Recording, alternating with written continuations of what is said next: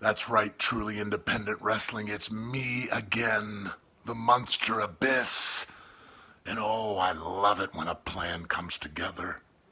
You see, Tyler Vincent, the prospects have had just about enough of you. They're tired of you. They've grown weary of your voice. So they've hired me, the Monster Abyss. So, Tyler Vincent, get ready because I'm going to see you on Saturday, June 16th at Truly Independent Wrestling, appropriately named The End of the Road.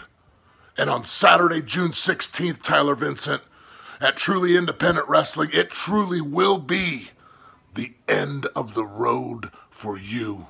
So, truly independent wrestling fans, get your tickets now, Saturday, June 16th, the end of the road, the Monster Abyss. Be there.